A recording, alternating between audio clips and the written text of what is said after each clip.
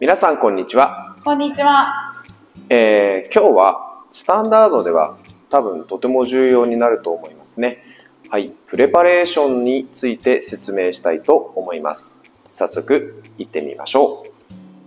はい。それでは、えー今回はちょっと初心に戻ってプレパレーションの説明をしたいと思います、えーというのは、えーまあ教えている生徒さんや練習場で行った時に組み方で結構言い合いになってたり、えープレパレーションが問題でなかなか最初のステップに行きつけないという方が多いんですね。うん、で、えーなんでそういう風になっちゃうのかなって思った時にいくつかちょっと僕たちの考えが思い浮かんだのでそれを今回は説明したいと思います。それで、えー最近のプレパレーションっていうのはいろんな形のプレパレーションが生まれてきました。皆さんが大体知ってるのは男性は右足、女性は左足に立ってオーソドックスにこういうふうにプレパレーションすることが多いと思うんですけど、えー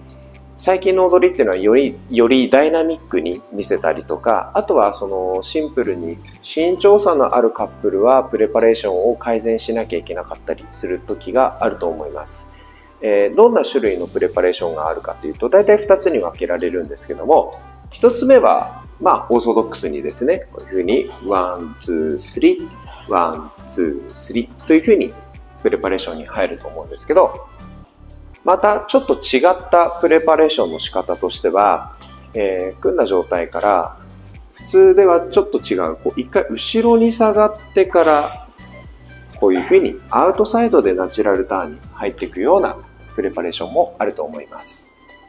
はい。今のように、えー、大体2種類ぐらいのプレパレーションを使う人。まあ、ほとんどの方は最初のプレパレーションが多いと思うんですけど、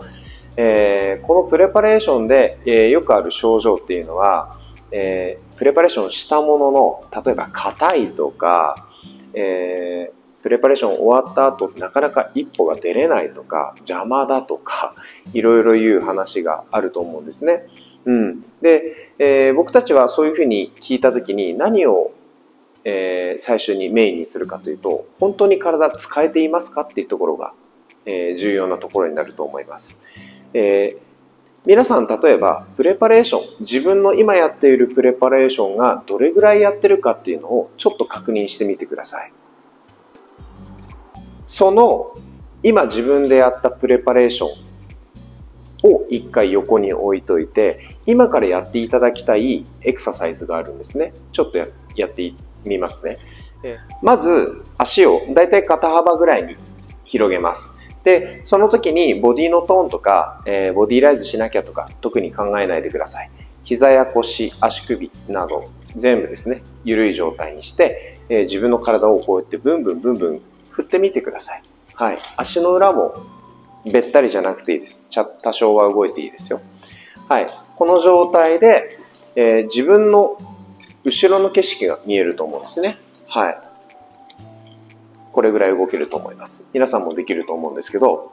それぐらいプレパレーションしていますかってことですね。それぐらいプレパレーションの時に体を使っていますかというのが、えー僕たちが、投げかけたいこと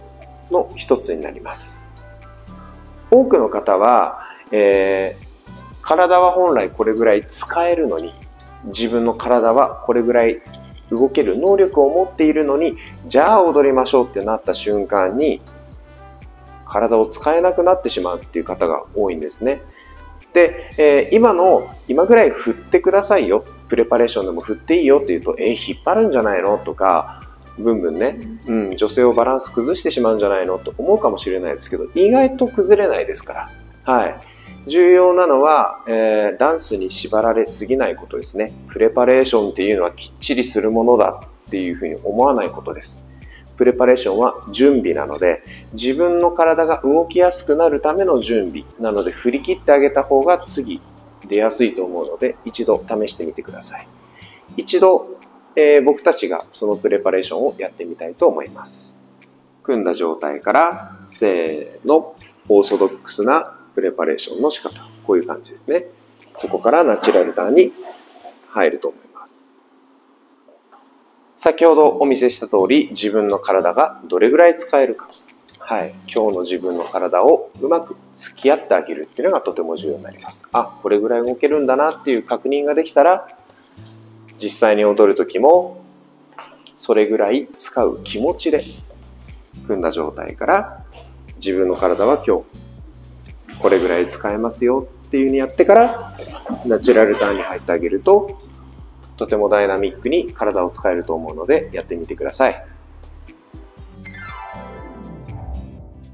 2つ目にご紹介したアウトサイドから入っていくプレパレーションも同じです。ちょっとやってみたいと思います。組んだ状態から、ここから1回男性はミニスウェーですね。左足に乗った時にミニスウェーをかけて、0、2、3とアウトサイドに出ていく方が多いと思うんですけど、この時も先ほどお見せした通り、自分の体がどれぐらい使えるか。はい。今日は僕はここまで使えます。ミラコ先生もそれぐらい、同じぐらい使えます。これを一緒にやると、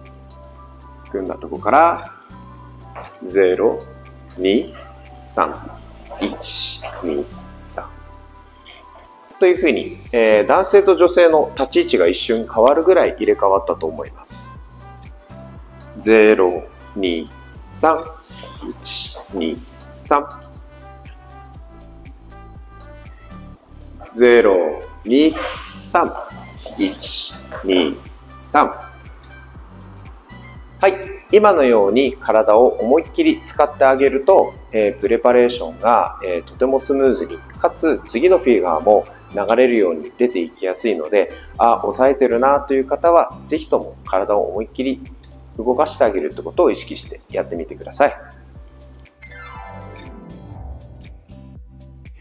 はい。続きまして、えー、プレパレーションはスイングダンスだけではないですね。えー、単語にもプレパレーションっていうのがあると思うんですね。で、多くの方はだいたい PP とかから単語、あの、プレパレーション入ると思うんですけど、えー、どうしても単語のプレパレーションがわからないっていう方も多いと思います。なので、多くの方は、単語のプレパレーションでよく見かけるのが、こう、クローズの状態から PP になるときに、いいよっていうふうにやって出ていく方が多いと思います。これは別に悪くはないんですけども、なんかこう、ウィンっていうふうに見えちゃうので、えー、これも単語もワルツとかスローと同じようなプレパレーションをしてもいいと思います。一度お見せしたいと思います。組んだ状態から一度片足に振り切ってあげてから PP になってあげる。0、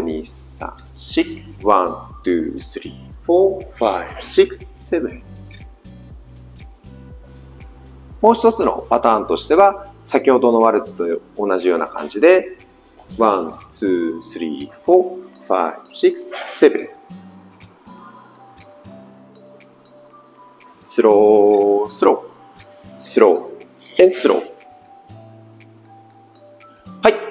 皆さん、いかがだったでしょうか？えー、今のようにですね、あの、タンゴでも、えー、ワルツとかスローのようにプレパレーションを使っても OK ですし、えー、プレパレーション、えー、もっともっと振ってもいいと思います。なので、かしこまっている方は、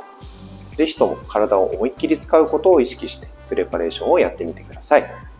それでは皆さん、頑張ってください。